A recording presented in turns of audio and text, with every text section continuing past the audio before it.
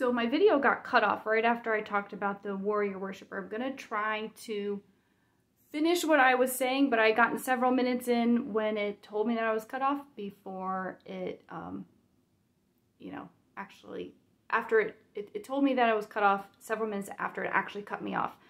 Um, but what's interesting is that it cut me off when I was talking about the counterfeit. So the blessing comes uh, from walking in his heartbeat, releasing his love, releasing his character, his presence, and his anointing in our lives. But there's a beware in here of beware of the counterfeit. And this counterfeit that he's talking about is very close to the genuine. They might have good talking points, smooth speech.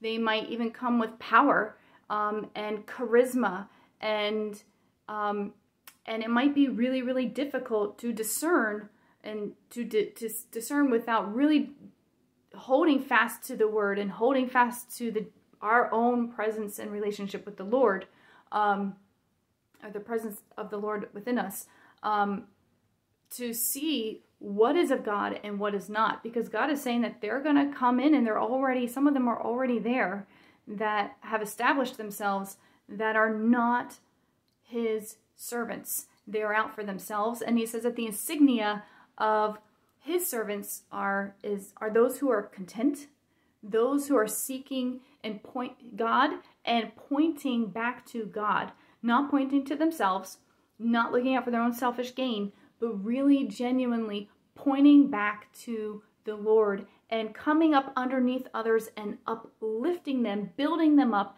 and uh, and and like I said, pointing them to God and God alone. Um, it says that some of them will even come with power and power workings in the spirit. And he said, don't be fooled by that. Just because somebody um, has some things happen, even miraculous things, doesn't mean that they're from God. Um, doesn't mean that they're not, but it doesn't mean that they are. Um, I mean, I'm, I'm, studying out the story of Moses in Exodus right now and pre preparing to speak on that at church. And the sorcerers did the same miracle, a lot of the same miracles that Moses did through God's power, but they were not sourced from God. Uh, so God is saying that it's going to take discernment. And I had released a prophetic word a bit ago about heightening discernment, and God is heightening discernment in his people because of this. Because there is a counterfeit, more counterfeit coming. Whenever God does something, uh, Satan will always counterfeit.